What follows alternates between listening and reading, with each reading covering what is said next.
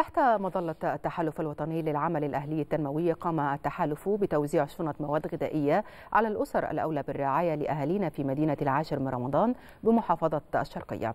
وتضم شنطة المواد الغذائية عددا من الأغذية الرمضانية التي تحتاجها الأسر خلال الشهر الكريم. تنفيذا لتوجيهات القيادة السياسية بدعم الأسر الأولى بالرعاية نظم التحالف الوطني للعمل الأهلي التنموي بمدينة العاشر من رمضان بمحافظة الشرقية. فعالية وزع خلالها شنط مواد غذائية على الأسر التي تستحق الدعم مما يساعدهم في تلبية احتياجاتهم الغذائية اليومية. إحنا فرع عاشر من رمضان هنا شغالين عندنا أكتر من 12 نشاط في مساعدات وفي معارض وعندنا قوافل. القوافل دي في رمضان إن شاء الله هنطلع زي وصلات مية وأسقف. وبرضه عندنا وزعنا في بداية رمضان آه على الأسر العاشر برضه آه 200 شنطة. وعندنا معارض خارجية إن شاء الله أو معارض داخليه إن شاء الله. عندنا كساء بنوزع آه ملابس العيد ملابس جديدة. في فروع النهارده برضه شغالة معانا. يعني 8 فروع في النشاط القوافل الخارجي بس يعني.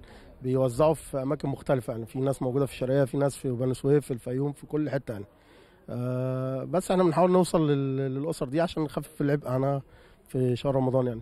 تحتوي الشنط الغذائية على مواد أساسية مثل الأرز والزيت وغيرها من المواد الغذائية الرمضانية والضرورية لضمان توفير الغذاء الكافي لهم ولأسرهم. هدفنا أن ما يعني ما يعديش يوم من رمضان ويكون في أسرة في مصر محتاجة.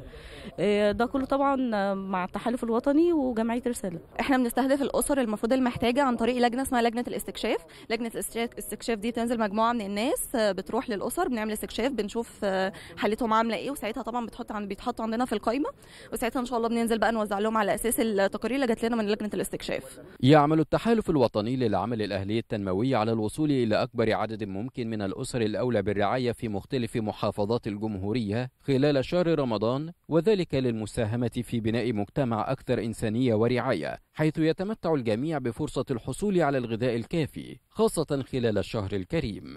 أحمد الحسيني التلفزيون المصري